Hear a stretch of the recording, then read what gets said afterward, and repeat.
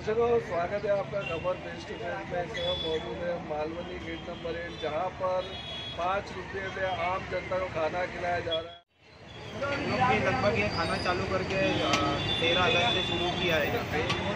पाँच छः महीना हो गया हम लोग कंटिन्यू हम लोग डेली ये दो सौ लोगों का खाना यहाँ पर ज़रूरतमंदों को बांट रहे हैं। और आगे चल के हमारा एक और भी लोगों को हम ये पहुँचा है, जिस तरीके से आज हम मालवनी के खड़े होकर खाना बांट रहे हैं उसी तरीके से हम आने वाले वक्त में अम्बुजवाड़ी और हाथी नगर में भी खाना चालू करने की कोशिश कर रहे हैं।